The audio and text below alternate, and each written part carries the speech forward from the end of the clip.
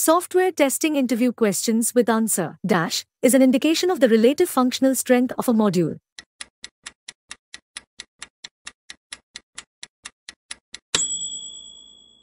Correct answer is cohesion. Effective risk management plan needs to address which of these issues?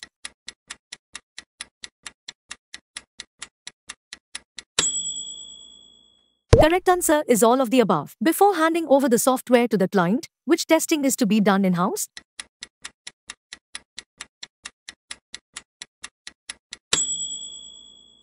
Correct answer is alpha. Save this video for your reference or share with your software tester friends. Feel free to call us for any inquiry.